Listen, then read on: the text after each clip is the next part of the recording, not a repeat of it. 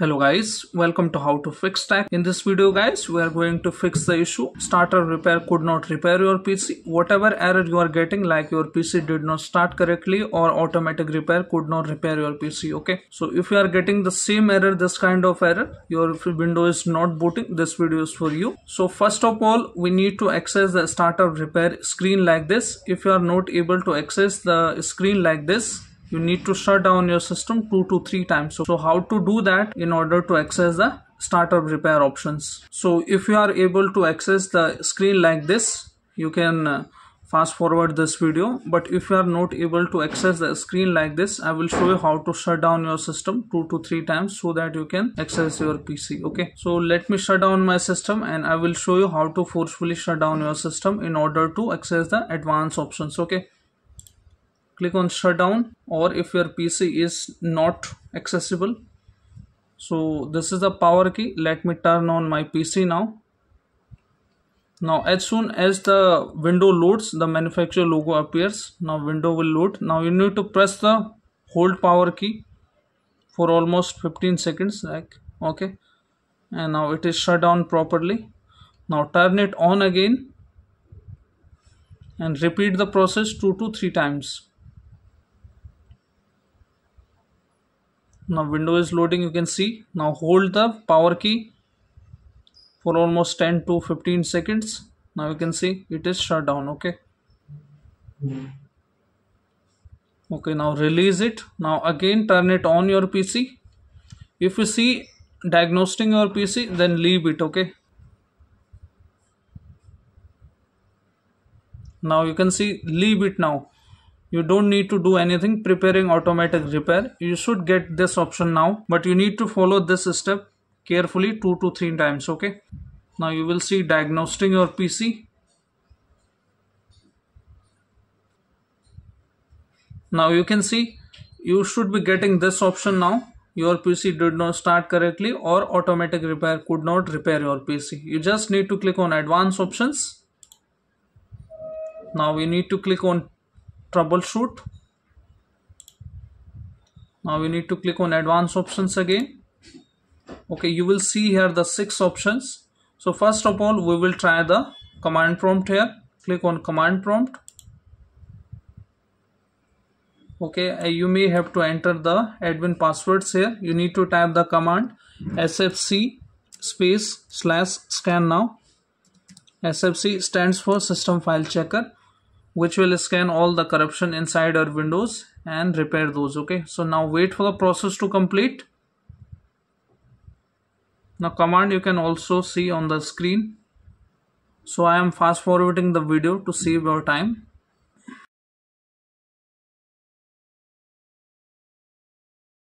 Now you can see the window resource protection found the corruption and successfully repaired them okay? Okay you just need to click on exit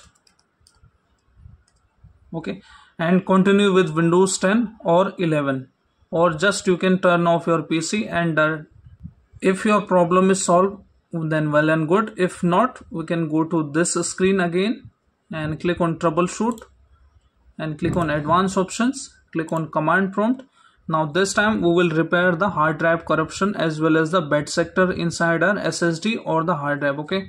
The command is chk chk dsk space space c colon. The drive letter where the windows is installed then space slash f space slash r. So this is the command chk dsk space c colon space slash f space slash r and you hit enter.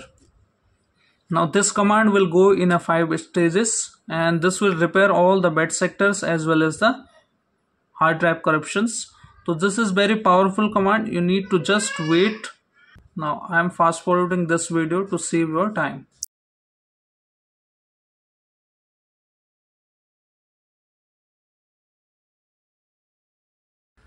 Okay so guys this command is completed after 30 minutes. Now we need to type exit from the command prompt and continue with windows 10 or 11 okay if you have still problem let me check if my issue is solved or not. So let me go to the exit and continue with Windows 11 okay it seems like it's booting. So let's see. Now you can see the error has been gone and my system I'm able to boot into the system okay? Now you can see. If you have still problem what you need to do is you need to access your PC like this previous one. If you are able to access your PC but getting the error so you can hold the shift key and then click on restart option here. Just hold the shift key here like this and hold the shift key until you get the advanced screen options. Just hold the shift key. Please wait.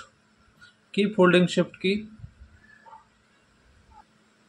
now release the shift key then click on troubleshoot click on advanced options and if you have made the restore point this option is also very good for you. Click on system restore. Now click on next.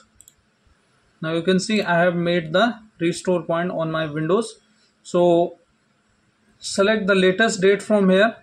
No loss to your data. Your data is safe in this process as well as the system so click on next.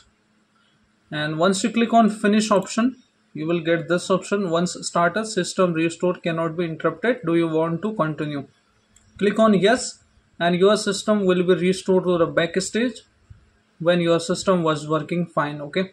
So if you have not made the any system restore you should be getting the red error. So you cannot proceed with the, this step. So we can go to troubleshoot. Click on advanced options. Click on again command prompt. Okay we need to type here the fix boot commands. So boot bootrec space slash fix mbr and hit ok. Once you hit ok you need to type this command fix boot boot bootrec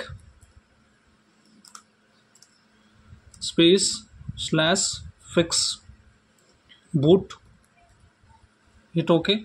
If you get this message access is denied. Okay what you need to do is you need to type this command bootsect space slash nt60 sys and hit ok. Now again type the same command this command fix boot. Now you can see the command is completed successfully. Now we need to type boot rec space slash rebuild bcd and hit ok. Now you will see the please wait. Now you can see the command is completed successfully. You need to just cut it from here or you can type exit and continue with Windows 10 if let's say your issue is still not resolved the you have left the last option which is troubleshoot and reset this PC you can choose keep my files but this setting will remove all the install app which you have manually installed but your personal data is safe in this process. Okay now you can choose the local reinstall resetting this PC options and getting things ready and your PC is going to reset.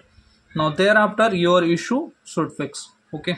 If you are unable to reset your PC, some error you are getting, just make a bootable pen drive and then reinstall the fresh window or check your hardware. So this is how you can troubleshoot this issue. So hope your issue is fixed now. If your issue is fixed, then hit like, subscribe and share. Thank you. Thanks for watching how to fix tech.